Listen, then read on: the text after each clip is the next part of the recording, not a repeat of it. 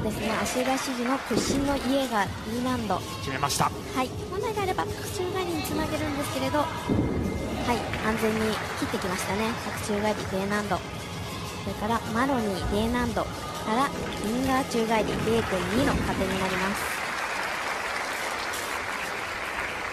から開脚の屈伸のイエーガー宙返り E 難度。これはいい位置で持ちましたね。はいそうですね足裏支持1回ひねりから下バー宙返り D 難度の連続で0.1の加点になります。ラストはムーンサルト。はい。着地決めました。村上です。着地はまとめてきま